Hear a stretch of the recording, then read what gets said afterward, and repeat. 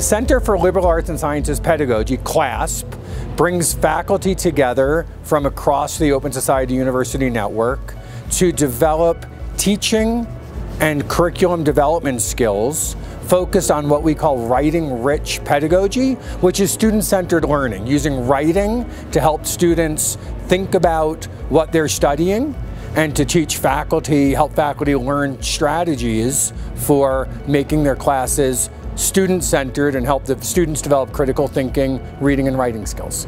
I direct the Institute for Writing and Thinking at Bard College, where our OSUN project is called the Center for Liberal Arts and Sciences Pedagogy, and I direct that program as well. What we're doing here this week is we have our two cohorts of CLASP fellows, and they're faculty who are excited about, devoted to, and interested in thinking about student-centered, writing-rich liberal arts pedagogies. So we're spending the week together working separately in two different groups, but also as one large group, to think about what we do in the classroom with our students and ways that we might change our classroom practice to make it more engaging, more student-centered, more democratic, and more collaborative. I was teaching public speaking, argumentation, debating, community engagement.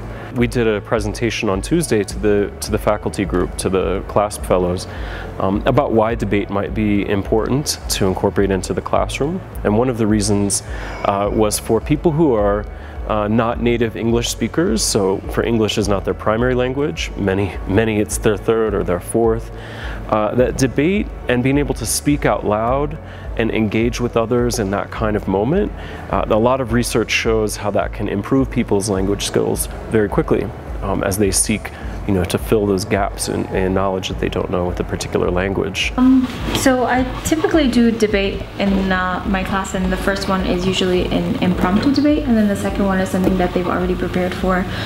For the impromptu debate, it'll typically be a subject that we've been covering over a week or two, so they should have some idea or some um, kind of facts associated with it and I provide them the guidelines that I got from one of the workshops. It's an opportunity to, to learn new techniques okay, new pedagogies, new approaches. So it's a very enriching program and, and, and particularly for me, I've learned so, so much and I've been inspired by so many people, even fellows, not just the facilitators or the instructors. I'm fortunate to be here in this wonderful uh, CLASP Fellows retreat. I'm here to explore and find out more about this writing and thinking pedagogy, which has really excited my practice as a practitioner, as an educator, and I'm looking forward to taking it back to Wales where I'm looking to explore how it fits in.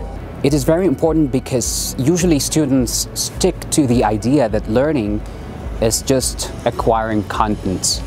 So you just sit down in a classroom, you listen to the professor, you just take notes, present an exam, and that's it. With these methodologies or these teaching uh, pedagogies, learning has to do with a self-exploration process. So through writing, the students are going to be able to know themselves better, how they can acquire abilities, attitudes, and uh, other skills more deeply. In terms of method, for the CLASP fellows, um, many of them come from places where uh, the methods of teaching are less interactive, where it's more top-down, um, information is transmitted to students, and I think the methods that they were able to engage this week really help them empower students to find their own voice um, and to figure out from experience why things are like they are, not just because they're told it's a certain way. Uh, at one time, I asked my students to do a little bit of free writing, and at, at first they didn't know what it was. What it was, okay? And then I, I give them a little explanation and they started doing it. Some of them produced, have produced a lot of beautiful pieces that I kept up to this day. The techniques that we use to go about writing, writing based teaching are very interesting and fun and engaging. So students tend to, you know, really participate and enjoy it. The idea behind CLASP is that thinking and writing are not separate activities, but we write in order to figure out what we think. That thinking doesn't come before writing, but we write in order to think. And so we have a series of strategies that we help faculty develop and think about how to use in their classes to, um, to help students think. So it's not about writing about any particular subject. The strategies we use can be used for anything. I'm a philosopher. Erica, with whom I teach, is a poet. In our group, we have social scientists, we have mathematicians. Everybody benefits from learning how to use writing to teach? Fellows come from 21 different campuses. So we have fellows from Al Quds Bard, from the Haitian Educational Leadership Program, from BRAC University in Bangladesh, from a few of the Bard High School early colleges. We have somebody from the University of Witwatersrand in South Africa. So they're really spread every place around the globe, and they represent almost all of the OSUN campuses. Getting to know teachers from other parts of the world is enriching because you understand that what you feel and what you do is not just uh, reserved to you. It is actually shared by many people all across latitudes, and you feel accompanied. You don't feel low alone. You feel that there is a whole community of people that's feeling and learning, that's uh, working the same things you do every day. So it's really nice to be part of a community. It's wonderful because it appeals to critical thinking.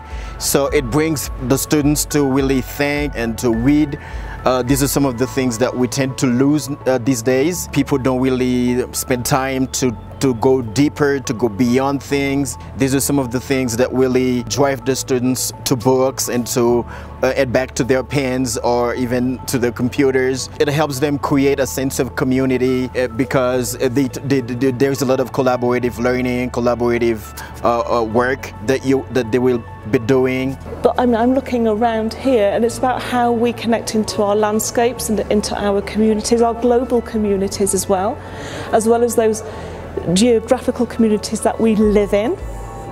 And I'm just making connections and I've been lucky enough and fortunate enough to make connections with other CLASP fellows, both in the first and second cohort, with shared interests around climate and sustainability. But being here in Colombia is making me think more and more about how interconnected we are and how important it is that we maintain and develop these connections, I think.